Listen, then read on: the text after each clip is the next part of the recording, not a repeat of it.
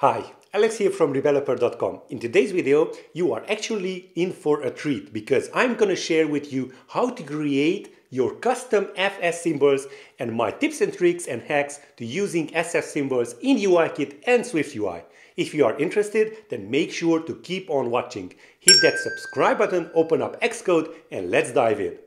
So let's dive into the code and learn everything about SF symbols.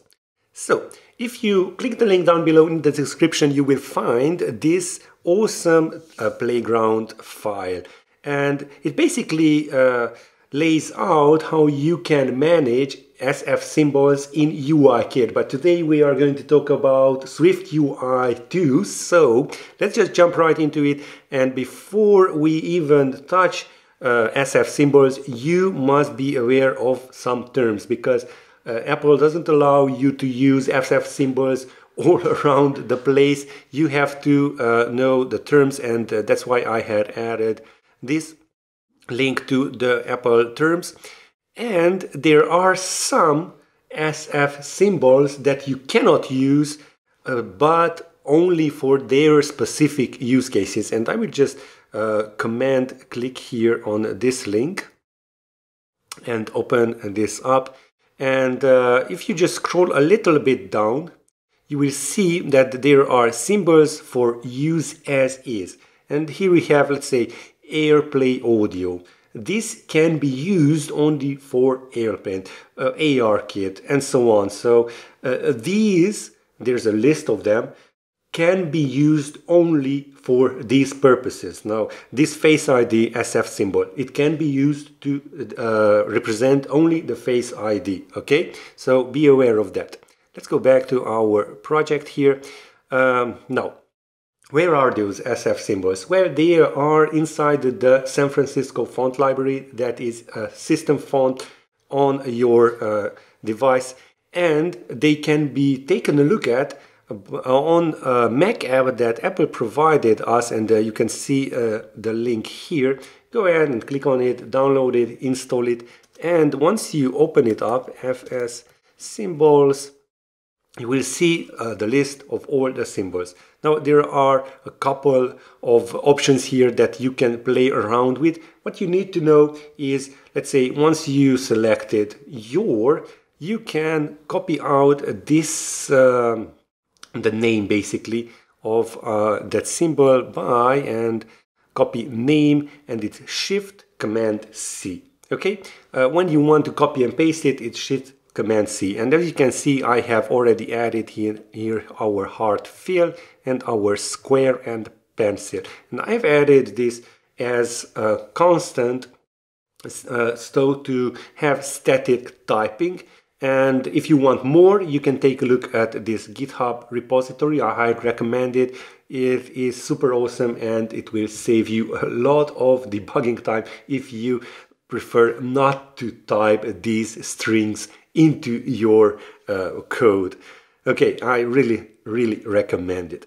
Now, uh, what else? Yeah, uh, you can also create your very own SF symbol. And let me just show you how. All you have to do is have uh, an SVG editor software, that be Sketch or uh, anything else. So what you need to do, and I will just uh, take a look at this paper plane dot fill. I just select it and go back into the menu and select export symbol and that will export uh, this as an SVG file. I will add it to the downloads, that's okay.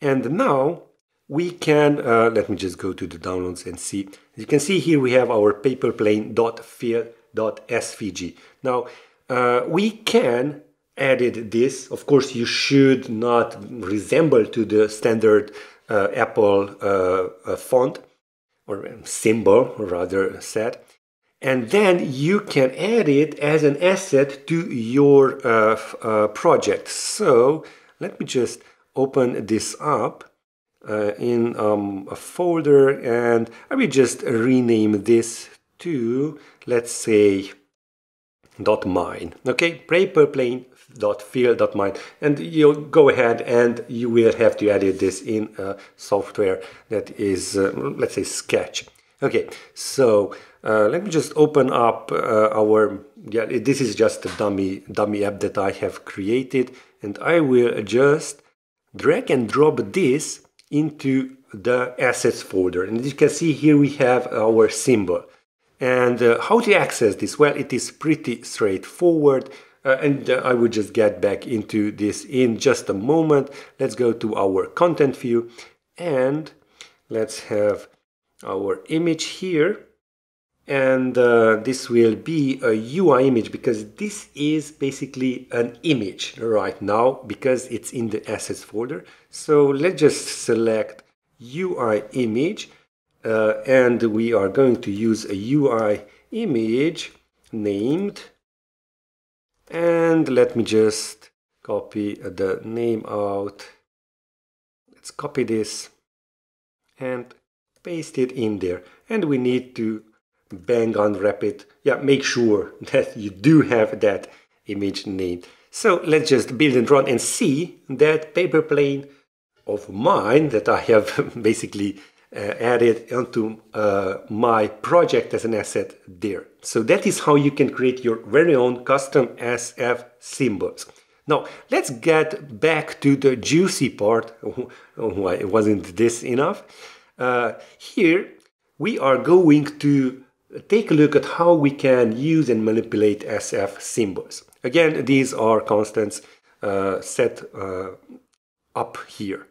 Now, let's create a UI image, and that is a heart image with the system name heartfill. That is all you have to do, and it's as simple as that. But now I want to add this as in Swift UI, so I just import Swift UI, or you could just overwrite UI kit. So Swift UI, there we go.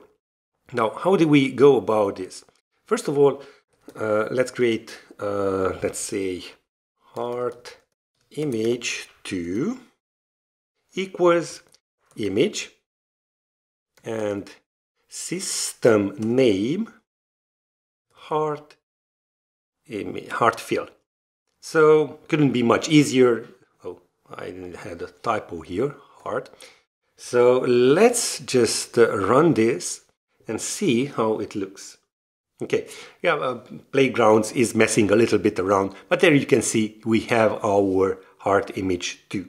Okay, next up, uh, inside UIKit you can have a configuration for your SF symbol. And uh, first of all, we have a scale, but we can have a weight too. Okay, and the way to do this is to create a configuration, symbol configuration, UI image dot symbol configuration, and you can choose scale, weight, you can choose even both. And then we create our UI image. Now, how would we go about creating this in Swift UI? Well, it is much, much simpler. We are just going to set the font size, okay? So uh, let me just copy this and let small symbol image 2 equals image uh, system name. There we go heart fill dot. Font. Here we go font and system size. Let's have this as 10 okay let's build this out and see how it looks. Yeah it sometimes breaks uh, yeah, um, maybe let's just open this up again. Okay, there we go. We have this. Uh, Playgrounds is always messing around with Swift UI, so go ahead and test it on your own. If it doesn't go, it's not going up, coming up in next scenarios, you just have to open it and close it. I won't uh, bother uh, wasting time here. Now, uh, for the weight, it's kind of the same. Let me just copy this out. Let with image equals image and uh, system name and I'm just going to use the square and pencil because uh, the weight cannot be uh, well it, it doesn't have a weight for the fill of the heart. So uh, we have our square and we are just going to use the font again. Uh, font dot title and weight dot the right. Okay, and the same goes for the black. As you can see, this is really, really easy in Swift UI. With just one single line of code, we can uh, do the same as we did with uh, two lines of code in UIKit. Okay, let's see, fingers crossed, if it worked. Yeah, it worked. As you can see here, we have our ultra light configuration. Uh, yeah, let's see. Uh, it's, it, it isn't showing up. Go ahead and restart your playground again. Now, what if we wanted to have an image view with a heart image and then we set it to bold uh, uh, and that would be our preferred symbol configuration. Now this is uh, okay because we have our image view and then this is updated to the configuration. So let me just build and run and see what we have here. I guess I have to open it and close it again. Let's see. There we go. We have our red. Okay, so we left off here. And this blue one is because the tint color of our image view is set to this blue by default. So I was uh, just thinking, what if, so yeah, image views and image, image views aren't possible in Swift UI. You just only have one view and that is image. So I'm just not going to use this here. But what if I want to color it? So in UIKit we use with tint color red and rendering mode always original. Now, let's just use this in Swift UI. So let image 2 equals and the heart image and we are just going to add a foreground color.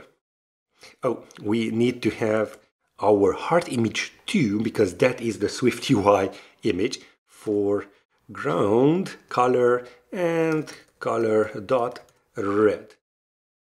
Okay, let's just try this again. If not, I'm just going to close it and open it again. If it is not working, let's just wait for that. Okay, let's see. There we go. We have our red uh, SF symbol. Now, if you want to have a border large configuration and then add in onto that a small configuration. Here we have our font size weight and scale and uh, please notice that the scale is large and then we want to set the scale to small. Then you can simply create a new configuration bold small config by applying the small config onto the bold large config. And then of course as usual we set the UI image system name with configuration with this new configuration. Now this is for UIKit. Now how would we go about this on uh, Swift UI? Well, again, it is pretty straightforward with modifiers. So let uh, bold small symbol image 2 equals UI, no, not UI, image system name square and pencil and first of all, we want to set the font of our font size, font dot system size. Let's say this is a large one, so let's set it to 12. So that takes care of this one. Next up, we want to set its weight to bold. So again, we add another modifier with a font, font dot title dot weight, and let's say bold. Okay. Now we want to append the scale to be small, so we are just changing the font size again. So let me just copy out that and just paste it in there and set it to 10. Okay, and uh, let's just run this again. Hopefully we will have some image.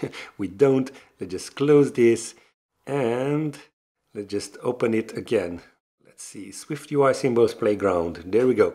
So building again, and now we should see the same font size 10 and bold uh, system image. There we go.